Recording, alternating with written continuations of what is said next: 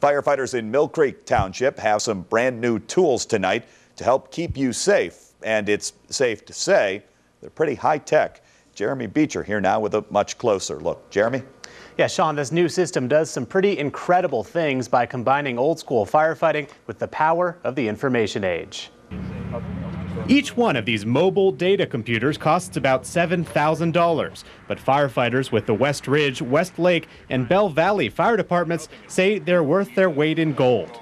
For starters, they can pull up any address in the township and find out where the nearest hydrants are and how much water flows to them, information that would have made fighting fires like Grenada dramatically easier. That's just the beginning. Another tool lets them scan the VIN number off of any car. We would scan it. And the computer then pulls up a schematic telling firefighters where they can and can't cut to free a trapped occupant, like in this Toyota Prius.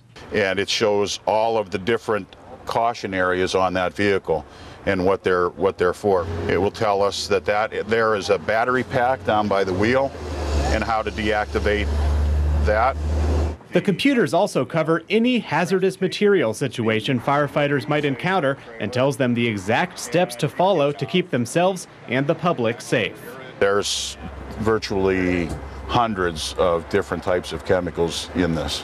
All of this information was available to firefighters before, but not in this streamlined and instantly accessible format.